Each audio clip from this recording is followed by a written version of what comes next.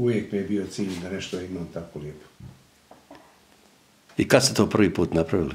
Prije 12 godina. I svake godine povećavate. Posjećuju vas ljudi ovdje stalno, Da, velik broj. velik broj. Da, da. I šta ih najviše interesira kad dođu? Evo, ukras. Ukras. Jaslice, najviše kod jaslice se slikaju. Kod jaslica se najviše slike. Da. To nema nigdje u Brodsko-Posavskoj županiji nego kod vas. Ne znam, nisam previše voda da vidim. A recite, e, to ste vidjeli u Švicarskoj? Inače u zapadnoj Europi. evo. Je to običaj? Da, da. I šta ste rekli? 45 tisuća Da, lampica imate ove godine. ima. 45 tisuća. Da.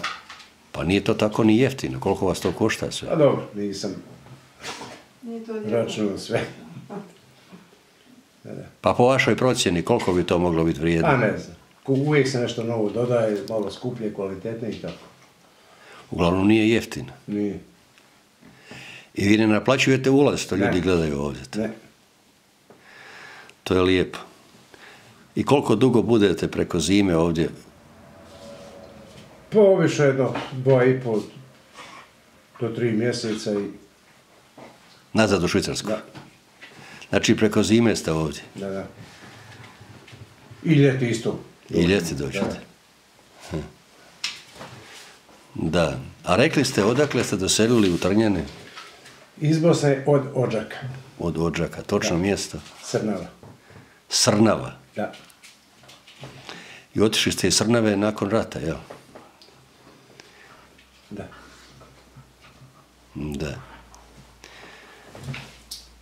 Vi supruga, živi li još netko s vama ovdje? Mama moja. Majka. Da. Da. Dođi, ajde. Ajde, sjedi. Sjedi, sjedi. Sad sam pogriješio, ovo moram dati